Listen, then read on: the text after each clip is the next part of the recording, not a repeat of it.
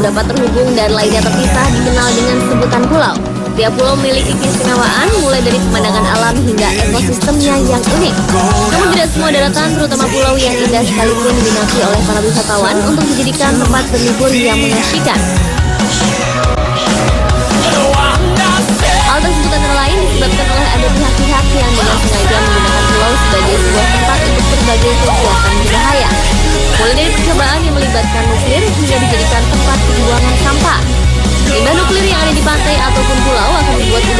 Sekitarnya dipenuhi dengan gas sulfa.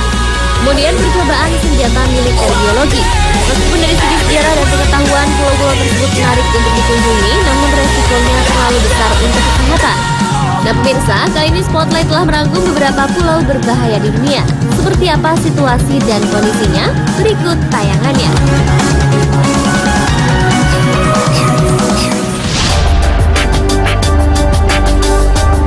Secara geografis, Pulau Greenard merupakan pulau kecil berbentuk oval dengan panjang 2 km dan luas 1 km. Pulau berbahaya ini terletak di Teluk Greenard yang sebagian masuk ke wilayah Gerloch dan sebagian lagi masuk ke wilayah Ulapul, Skotlandia.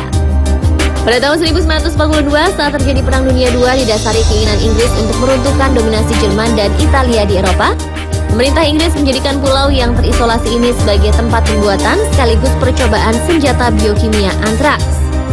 Senjata biokimia volume 14578 tersebut dinamai sesuai pembuatannya yakni RL volume, seorang profesor ahli bakteri dari Universitas Oxford, Inggris. Sebagai percobaan pertama, senjata biokimia tersebut digunakan pada 8 ekor domba di Pulau Greenard. Hasil percobaan tersebut rupanya berhasil, 8 domba mati akibat infeksi virus antraks yang ganas.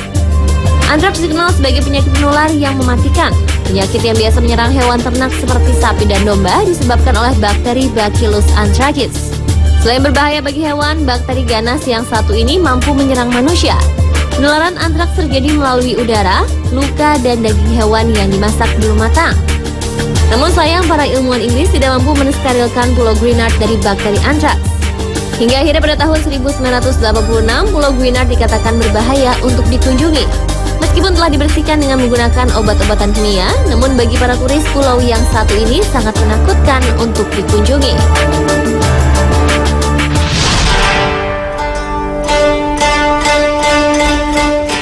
Pulau berbahaya selanjutnya adalah Miyakejima atau Pulau Miyake, bagian dari Kepulauan Izu di tenggara Pulau Honshu, Jepang. Pulau seluas 55,5 km persegi dengan panjang 180 km merupakan bagian dari Taman Nasional Fuji Hakone Izu dan bagian dari Metropolitan Tokyo.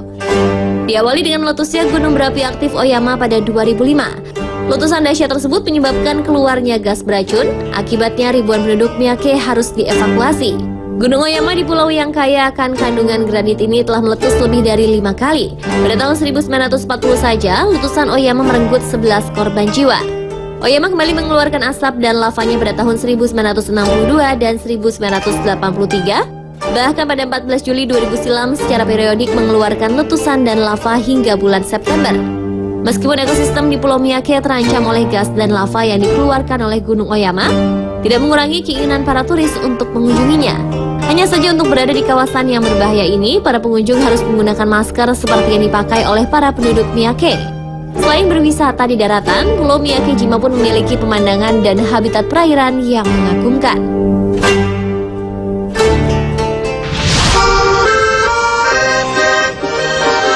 Selain Siberia, di kawasan Rusia terdapat wilayah lainnya yang tidak kalah ekstrim dan berbahayanya, yakni Pulau Vozrozhdenia. Pulau Vozrozhdenia menjadi pulau berbahaya akibat pada tahun 1945 saat Uni Soviet berkuasa dijadikan sebagai tempat uji coba senjata kimia.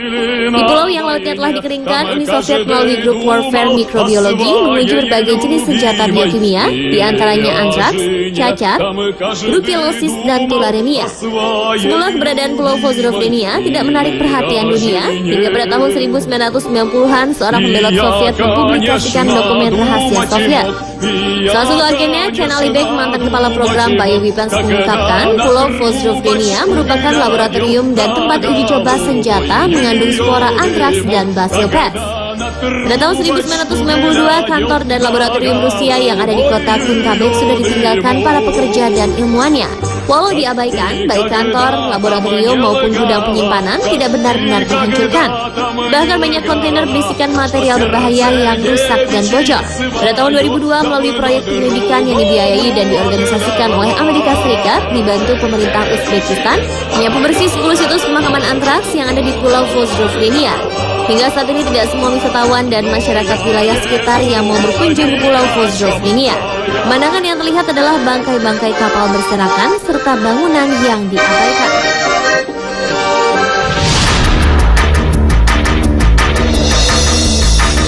Dari Rusia kita beralih ke wilayah Mikronesia yang berada di Samudra Pasifik.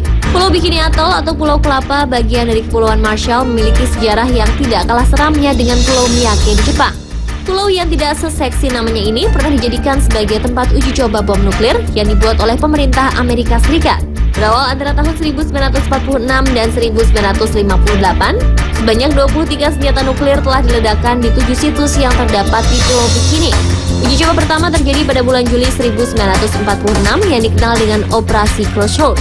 Dalam operasi Crossroad, pemerintah Amerika Serikat melalui ilmuwan dan militernya berhasil membuat bom mematikan. Masing-masing bom mengandung 23 kiloton TNT. Bom pertama yang namanya Able diledakkan pada 1 Juli 1946. Bom kedua dinamai Baker diledakkan pada 25 Juli 1946. Bom ketiga, Charlie, diledakkan di kedalaman perairan pesisir California dalam operasi Wigwam pada tahun 1955.